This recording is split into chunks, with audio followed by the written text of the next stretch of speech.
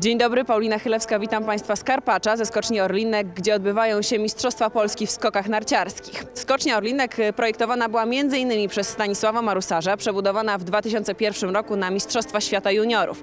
Wtedy to rekord skoczni 92,5 metra ustanowił Weli Mati Lindström. Wczoraj Mateusz Rutkowski wyrównał ten rekord skoczni. Jak będzie dzisiaj, zobaczymy. Wszyscy liczą na Adama Małysza i na jego bardzo dobry występ. A co ciekawe, Adam Małysz w zawodach na skoczni Orlinek skakać będzie dzisiaj po raz pierwszy. A wraz ze mną Jan Szturc, trener Wisły Ustronianki i wujek Adama Małysza. Jak Adam Małysz traktuje ten dzisiejszy występ? Czy to jest takie przełamanie i pokazanie się, że jestem w dobrej formie, czy to jest tylko kwestia treningu właściwie? No na pewno Adam będzie dzisiaj e, e, chciał udowodnić, że e, jednak należy do tych najlepszych skoczków nie tylko w kraju, ale również na świecie. Tutaj w tej krajowej czołówce będzie chciał udowodnić i być może ten rekord Welimaty Lindströma no, będzie dzisiaj pobity. Tego mu życzę. Dzisiaj Adam oddał pierwszy skok na tej skoczni w Karpaczu, także po raz pierwszy tutaj Adam startuje w Karpaczu. E, Kto będzie jego największym konkurentem? Czy Mateusz Rutkowski? No na pewno Mateusz Rutkowski jest w bardzo dobrej dyspozycji i y, Adam będzie musiał y, mocno odpierać ten atak. Ale jest pan spokojny, że ten atak zostanie, że będzie odparty? No spokojnie dopiero będę po konkursie. Dziękuję bardzo za rozmowę. Zapraszam Państwa na relacje z tych zawodów, a komentuje je Marcin Grzybowski. Witam Państwa z podskoczni Orlinek w Karpaczu. Tym razem w Karkonosze zawitali skoczkowie i pierwszy w naszym skrócie, w naszej relacji na belce Dawid Kowal. 16-letni zawodnik z Zakopanego, syn znanego skoczka Jana Kowala. Dawid Kowal, szósty na Mistrzostwach Polski rozgrywanych 26 grudnia na Wielkiej Krokwi. W tym skoku również bardzo dobrze 85 metrów. Lądował dokładnie w punkcie K. Dawid Kowal w punkcie konstrukcyjnym skoczni Orlinek przebudowanej, jak wspominała Paulina Chylewska, przebudowanej dla potrzeb rozegrania Mistrzostw Świata Juniorów. Widzieliśmy Dawid Kowal tym skokiem obejmuje prowadzenie. A tuż za nim z numerem 47 Rafał Ślisz. Rafał Ślisz, podopieczny trenera Zbigniewa Klimowskiego, również bardzo dobrego niegdyś skoczka. I Rafał Ślisz, także ten gest zwycięstwa mówi wszystko. Ten skok Rafała Śliża bardzo udany. 85,5 metra, pół metra dalej niż Dawid Kowal. Żaden z zawodników, którzy do tej pory startowali, oczywiście Rafał Śliż wyprzedza Dawida Kowala. Żaden z zawodników e, nie lądował e, odległości 85 metrów, czyli tyle, ile wynosi ten punkt na skoczni Orlinek. A to już kolejny zawodnik, Wojciech Pawlusiak. Wojciech Pawlusiak to także podopieczny Zbigniewa Klimowskiego z kadry C. Ta kadra podzielona e, na kadrę olimpijską. To zawodnicy przygotowujący się do Igrzysk Olimpijskich w Turynie. To taka kadra na 2006 rok. W niej oczywiście Adam Małysz, e, Robert Mateja, tam także jest Marcin Bachleda i czołowi polscy skoczkowie, ci, którzy startowali już w Pucharach Świata. A w tym skoku Wojciech Pawlusiak 84,5 metra. Również bardzo dobry skok. My prezentujemy Państwu najlepsze skoki tej pierwszej serii, a to już Adam Małysz.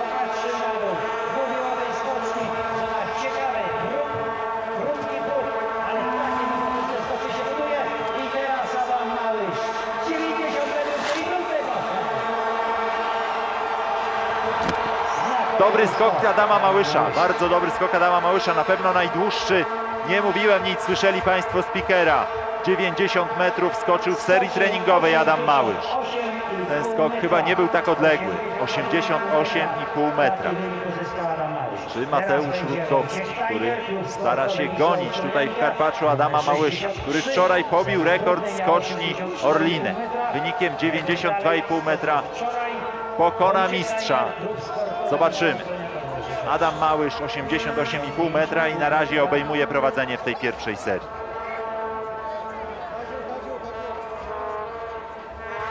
A za nim Wojciech Tajna, trzeci w Zakopane, trzeci w drugi dzień świąt. Najlepiej wiodło się Wojciechowi Tajnerowi w Pucharach Świata. ale w tym skoku również nieźle. Nieźle, bardzo przyzwoity skok Wojciecha Tajnera. 84,5 metra. I za nim, za Wojciechem Tajnerem kolejno będzie Grzegorz Śliwka, a Wojciech Tajner, zobaczymy zaraz jakie noty otrzymał i czwarte miejsce po tym skoku Wojciecha Tajnera. No na pewno, jeżeli będzie chciał powtórzyć wynik Mistrzostw Polski z Wielkiej Krotwi z końca grudnia, będzie musiał w drugiej serii się poprawić. A na belce teraz Kamil Stoch. Kamil Stoch z kadry B. Tę kadrę prowadzi Heinz Kutin razem z Łukaszem Kruczkiem. Również dalej niż punkt K na skoczni Orlinek Kamil Stoch. Skoczył 86 metrów. Dokładnie metr numer dalej, zawodowy, 86 metrów. To druga odległość. Tak, i drugie miejsce tuż za Adamem Małyszem. Kamil Zakopane.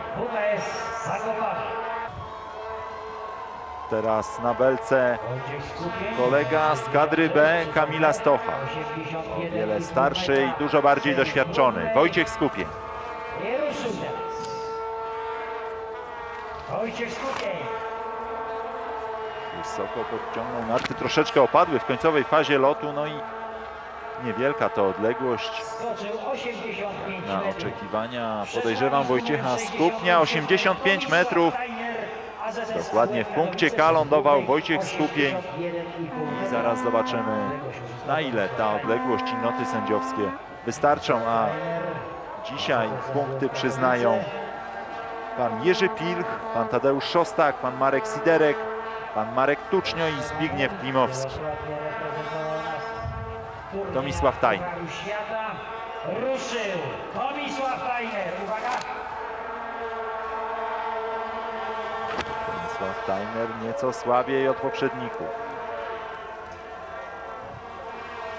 Tajner, który z tej grupy również ma duże doświadczenie. Numer 68.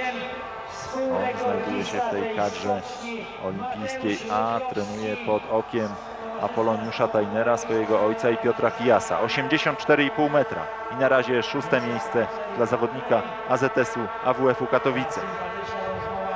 Wczoraj zespół AZS-u AWF-u Katowice zdobył na skoczni Orlinek złoty medal drużynowo. Ale teraz najgroźniejszy konkurent Adama Małysza, Mateusz Rutkowski. Przypomina speaker, 92,5 metra wczoraj. Zobaczymy ile będzie w tym skoku. Daleko, bardzo daleko wylądował Mateusz Rutkowski. Chyba dalej od Adama Małysza. No będzie to niespodzianka, na pewno wielka niespodzianka. Prowadzić choć w jednej serii z potrójnym mistrzem świata, z wicemistrzem olimpijskim, z trzykrotnym zdobywcą Pucharu Świata.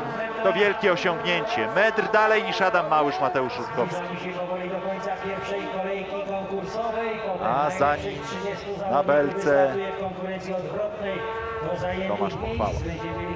Tomasz Pochwała, który w zeszłym roku toczył z Adamem Małyszem wielki bój o pierwsze miejsce. Też prowadził z Adamem Małyszem po pierwszej serii. No tutaj na skoczni Orlinek raczej tej sytuacji nie powtórzy. Skoczył 80. W zeszłym roku zajął drugie miejsce, ale tak jak mówiłem wcześniej, po pierwszej serii był lepszy od Adama Małysza. Wczoraj 88,5 metra, dzisiaj w serii próbnej 84,5 metra. Ten skok 84 metry to dziesiąte miejsce 70. wśród tych zawodników, którzy już oddali swoje skoki w pierwszej serii. Teraz Krystian Długopolski.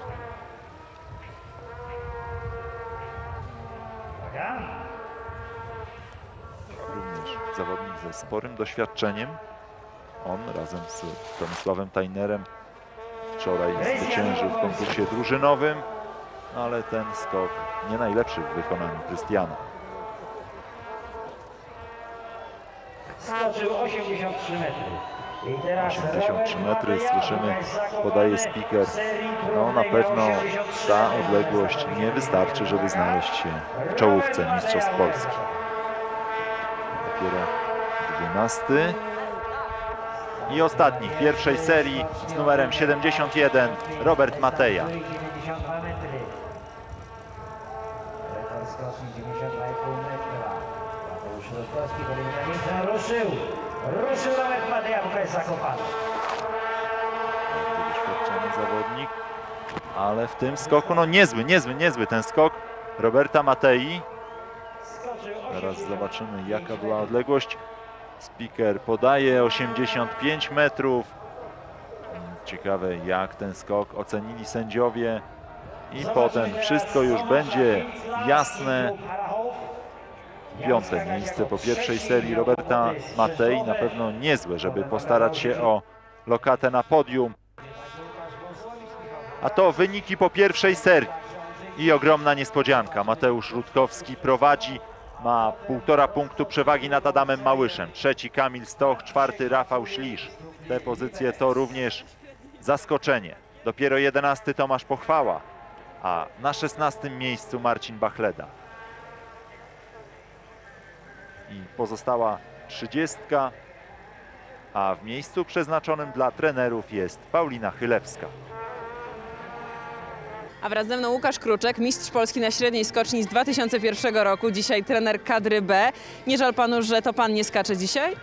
Nie, przeszło mi już to. Miałem momenty takie, że żałowałem troszeczkę, że nie skaczę, że nie trenuję już, ale minęło, zmieniła się sytuacja, także w tej chwili jestem w całkiem odmiennej sytuacji i jestem z tego zadowolony. E, W pierwszej serii najdalej skoczył Mateusz Rutkowski. Czy to oznacza, że plan związany z Mistrzostwami Świata Juniorów jest wykonywany w 100%? Tak, my jest, y, jesteśmy teraz w trakcie cyklu przygotowawczego nadal do Mistrzostw Świata Juniorów. Ten start y, traktujemy my jako kadra, jako taki start kontrolny. Nie przywiązujemy do niego strasznej wagi. Wiadomo, dla chłopców jest to ważne, Mistrzostwa Polski, ale myślę, że ten plan, który założyliśmy jest wykonywany na razie w 100%. Jest pan trenerem kadry B, ale w czasie przerwy pomiędzy pierwszą a drugą serią również konsultował się pan z Adamem Małyszem. O co pytał Adam? Po prostu była normalna, swobodna rozmowa na temat skoku, jak my to z boku obserwujemy, nic więcej. Jakie były oceny? Pozytywne. Dziękuję bardzo za rozmowę. Proszę bardzo, dziękuję. Bardzo dyskretny Łukasz Kluczek w tej rozmowie z Pauliną Chylewską, a to 13 po pierwszej serii Stefan Hula, ale znakomity skok w tej drugiej próbie. Widzimy, cieszy się zawodnik Sokoła Szczyrk. To był na pewno skok 89 metrów. Świetnie poradził sobie Stefan Hula w tej próbie. Obejmuje prowadzenie 82 w pierwszej, 89 w drugiej, drugiej próbie. To na pewno jest szansa dla młodego zawodnika ze Szczyrku na wysokie miejsce. I również 13 Krystian Długopolski.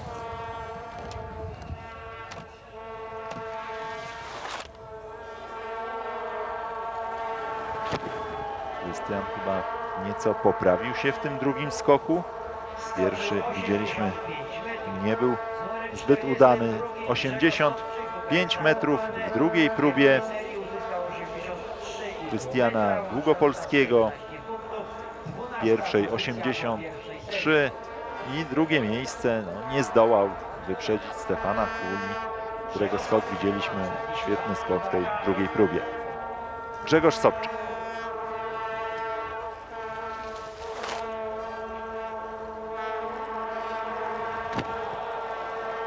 Również za punktem K lądował Grzegorz Sobczyk.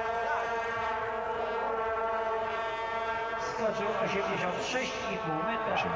86,5 metra. W tej próbie no, widać, że lepiej, lepiej radzą sobie zawodnicy w tej drugiej próbie. Dłuższe skoki, mimo tego, że rozbieg pozostał na tej samej wysokości z 11 belki startowej. Oddawane są skoki w Mistrzostwach Polski na skoczni Orlinek w Karpaczu. To klasyfikacja. Tomasz Pochwała na rozbiegu, a my widzimy prowadzi Hula, drugi Sobczyk, a trzeci Długopolski. Co zrobi Tomasz Pochwała? Jakby walczył w ostatniej fazie o odległość, starał się jak najdalej wylądować, ale na pewno ten skok nie był udany. 66 metrów. Kiwa niezadowolony głową Tomasz Pochwała. Trudno mu się dziwić. Skrzywiony nieco w prawą stronę ta lewa narta wygięta. Siódma pozycja. po 86 metrów. Odległość niezła, ale na pewno noty za styl nie były wysokie. a na belce Wojciech Pawlusia.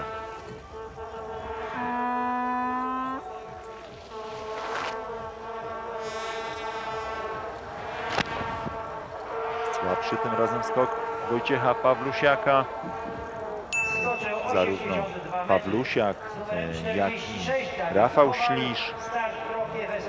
Krystian Długopolski to zawodnicy, 89 których prowadzi Zbigniew 115 Klinowski.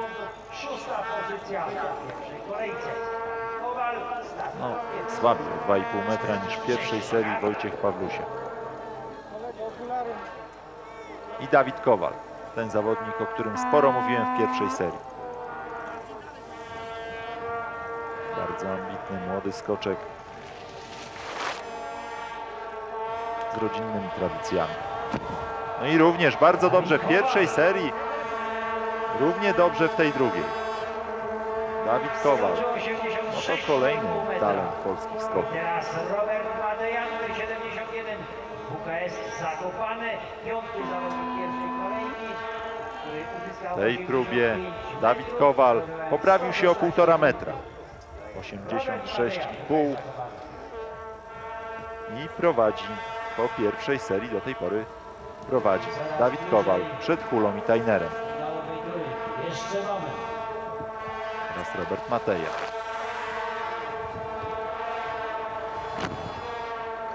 Robert Mateja chyba nieco przed punktem K w drugiej serii. Zaraz zobaczymy jaka była odległość Roberta Matei w tym drugim skoku, ale trudno przypuszczać, że ten skok pozwoli mu wyjść na prowadzenie. Pół metra dalej niż w pierwszym skoku, 232 punkty i drugie miejsce za Dawidem Kowalem. Teraz czwarty. 47. Po pierwszej próbie Rafał Ślisz.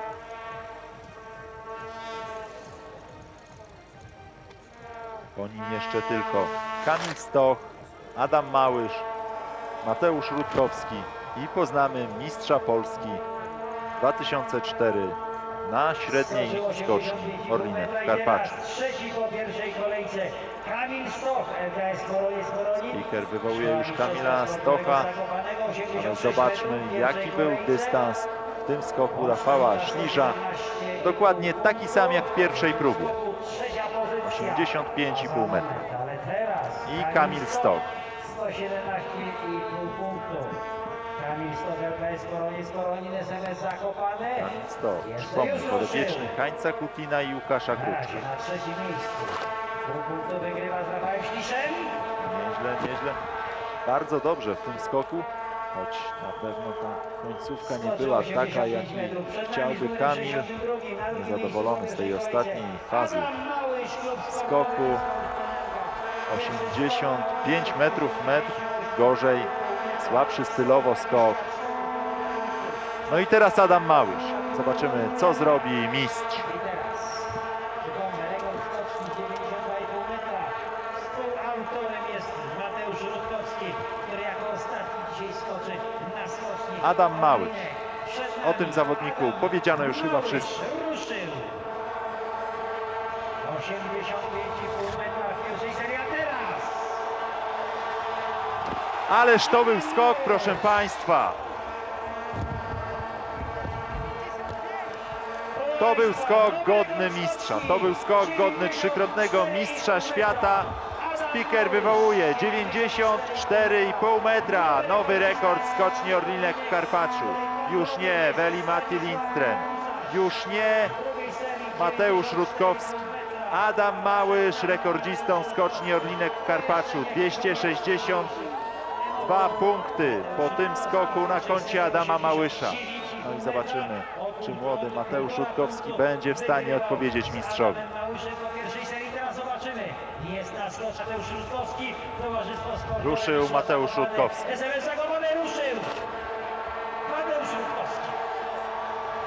Również daleko, również bardzo dobry skok Mateusza Rutkowskiego. Nie zjadła trema młodego 91 zawodnika. ale to jest 91 metrów. To jest za mało, to jest za mało, żeby pokonać takiego mistrza, jakim jest Adam Małysz. Adam Małysz, mistrzem Polski Razem z nim skok Mateusza Rutkowskiego oglądała Paulina Chylewska. Posłuchajmy. 4,5 metra. Wicemistrzem Polski. Adam Małysz, no można już powiedzieć oficjalnie, mistrz Polski 2004. Panie Adamie, 94,5 metra, nowy rekord skoczni. Jak to się robi? Jak się robi? Nie, no myślę, że po prostu była mobilizacja.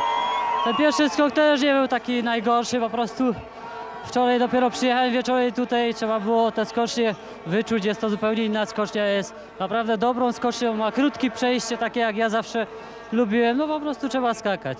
Mówił Pan bardzo często o tym, że potrzebne są Panu treningi na mniejszych skoczniach. Czy ten, te Mistrzostwa Polski traktuje Pan właściwie jako trening? Dokładnie, na pewno jako trening, jako przygotowanie, bo jest to naprawdę bardzo ważne, żeby te skoki na tych małych skoczniach oddawać jak najlepsze, wtedy na tych dużych również te skoki będą poprawne. Jakie najbliższe plany? Oberstdorf i Willingen wchodzą w grę, czy jednak nie? No prawdopodobnie tak, prawdopodobnie tak. Nie, nie e, konsultowałem jeszcze to z trenerami, jak będzie, ale wydaje mi się, że, że chyba tak, że chyba pojadę. No nie mam teraz nic do stracenia, koniec sezonu, więc trzeba skakać, ob, obskakiwać po prostu. Między pierwszą a drugą serią konsultował się Pan z Łukaszem Kruczkiem. Jakie rady lub jakie opinie pojawiały się podczas tej konsultacji? Znaczy nie konsultowałem się, po prostu oglądałem skok na wideo. Oni mają e, komputer w samochodzie, gdzie, gdzie mają od razu podgląd na, na skoki. Na tym małym monitorku e, na kamerze bardzo mało widać, więc oni wożą ten komputer i poszedłem sobie po prostu oglądnąć ten skok. No i, I pomogło. udzielić jakiś e, porad, dokładnie. Dziękuję bardzo. Dziękuję. Wielkie gratulacje dla Adama Małysza za wynik, ale i za styl, w jakim go osiągnął. Również brawa należą się Mateuszowi Rutkowskiemu i Dawidowi Kowalowi. To oni, ci młodzi zawodnicy, stanęli na podium. A tak doświadczeni skoczkowie jak Wojciech Skupień czy Tomasz Pochwała widzimy dopiero w drugiej dziesiątce. To tyle ze skoczni Orlinek w Karpaczu. Żegnam się z Państwem. Oddaję głos Paulinie Chylewskiej.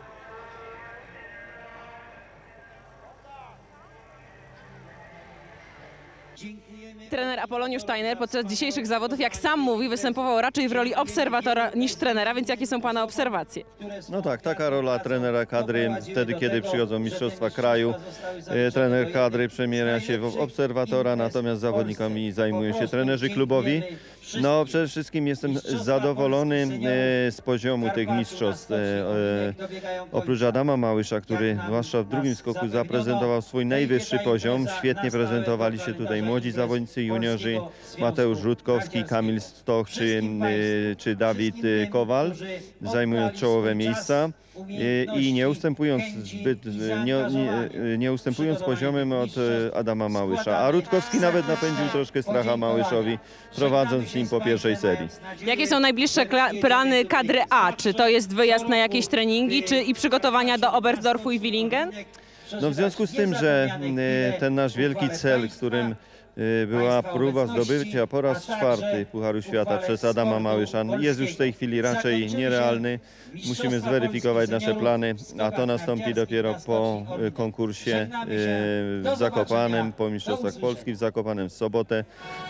Wieczorem spotkamy się w gronie trenerskim Fijas, Szturc i ja i podejmiemy jakieś odpowiednie decyzje. W każdym razie musimy się kierować w tej chwili w stronę kilku imprez, najważniejszych jeszcze, które nam pozostały i dobrze Adama do tych imprez przygotować.